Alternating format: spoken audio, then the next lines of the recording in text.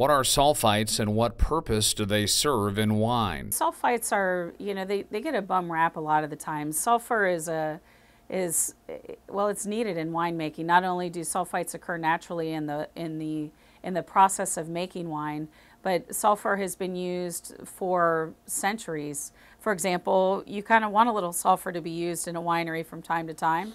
It can help stop a fermentation from taking place. It can keep the wines safe and stable for transportation, and it can be done in a a relatively low fashion, small parts per million that are really undetectable, but keep the wine uh, sort of as a, as a gentle preservative to keep it from uh, progressing in a manner that would be unsafe to drink.